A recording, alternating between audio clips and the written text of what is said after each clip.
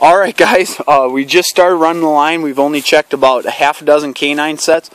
Uh, we're on our uh, deer hunting property now, and uh, there's a big marsh behind this deer stand here, and there's uh, just a little strip of woods that uh, runs along the edge of it, and it's got a heavy, heavy game trail on it. first trap on this property, and say hello to Fisher number three.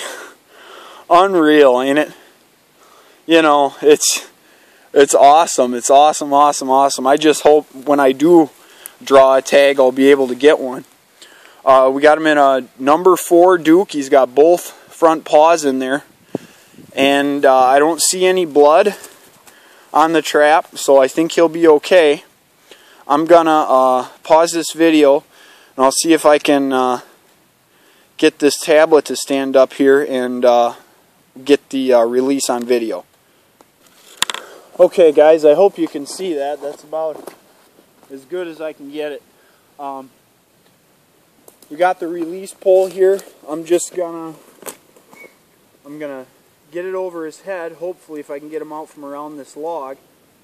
And uh, actually that might work right there. We'll see here. All we're gonna do is uh, we don't want him biting our hand or our feet.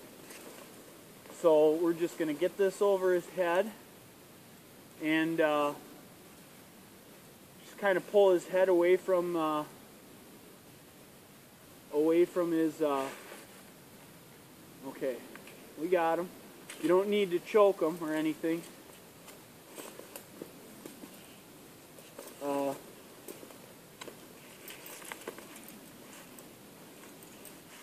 Just enough to pin them to the ground.